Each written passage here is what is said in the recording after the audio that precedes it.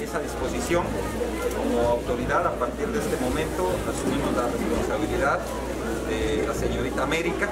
Nos vamos a trasladar al Palacio Municipal para abanderarla, hacer el recorrido en las calles más eh, significativas de la población y posteriormente eh, llevar a cabo el grito de independencia y la entonación del himno nacional. Posteriormente la traeremos de vuelta para hacer la entrega a ustedes.